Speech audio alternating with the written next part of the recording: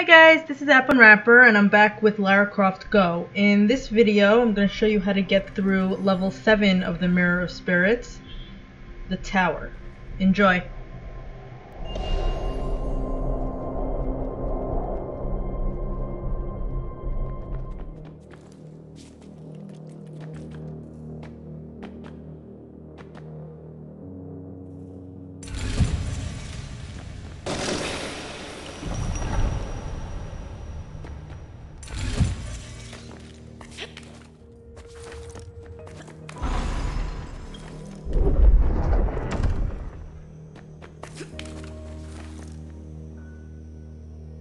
Bye.